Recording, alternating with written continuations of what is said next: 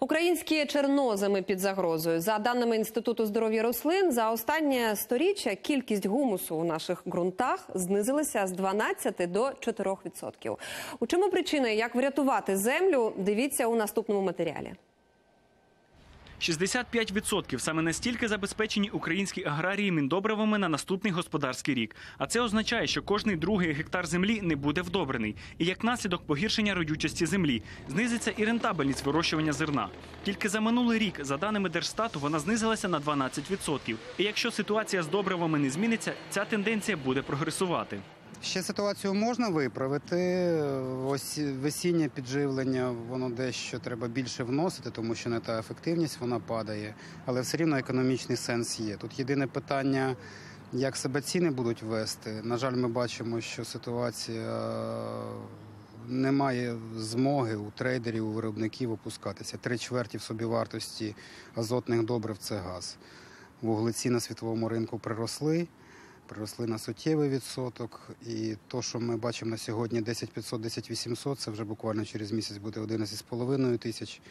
В березні це буде під 13 тисяч гривень. Тому той, хто закупиться сьогодні, економічний ефект, чи він більшим чином мінімізує збитки. В порівнянні із європейськими колегами українські фермери використовують втричі менше добрив на один гектар. І аби досягти рівня врожайності, який існує в Європі, необхідно вирішити проблему азотних добрив. І єдина можливість забезпечити аграрії в селітру вітчизняного виробництва знизити ціну на газ.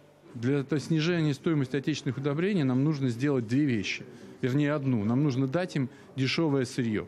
Никакого другого решения нет. Это либо дешевый газ собственный, либо нам нужно реализовать программу производства синтез газа из газовых углей. Если у нас ситуация просто останется в том виде, в котором она есть сейчас, я прогнозирую, что лет через пять у нас не будет отечественного производителя. завжди національне виробництво було більш наближене до е, фермера. Е, добрива національні були завжди дешевші.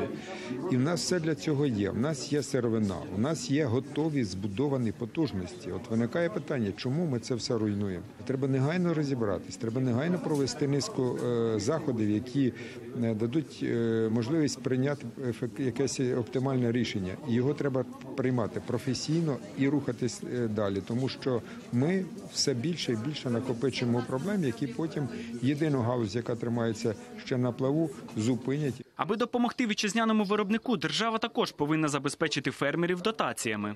Ми тільки що з депутатами говорили, щоб невикористані кошти від по всіх державних потреб може направити на підтримку е, іменно компенсації вітчизняних добрів. Але це ну рішення Верховної Ради. А поки уряд вирішує долю бюджетних компенсацій, експерти радять фермерам не гаяти часу і вже сьогодні купувати добрива, поки вони не подорожчали на 20% услід за газом.